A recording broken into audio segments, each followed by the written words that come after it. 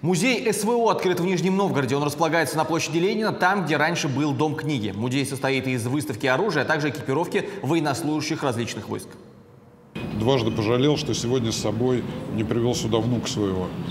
Потому что это и для детей, и для, совсем мал... и для совсем маленьких, кто еще только идет в школу, это для подростков, для школьников. Самое главное, они должны проникнуться и понять, для чего вообще это все начиналось и с какой целью, чтобы было понимание в дальнейшем, что Россия все делает верно. Мы постарались максимально доходчиво и эффективно изложить всю информацию о ходе и предпосылках начала проведения специальной военной операции в цифровом интерактивном формате, э, чтобы заинтересовать и замотивировать экскурсантов.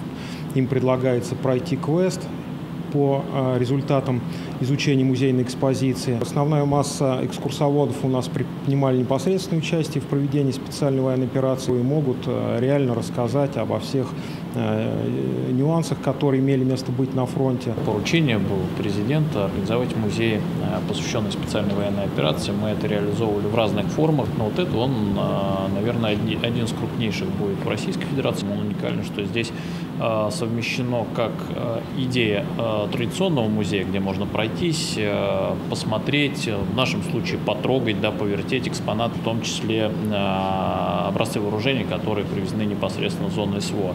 И вторая составляющая музея – это то, что он э, сделан с мультимедийным оборудованием, с оборудованием виртуальной реальности.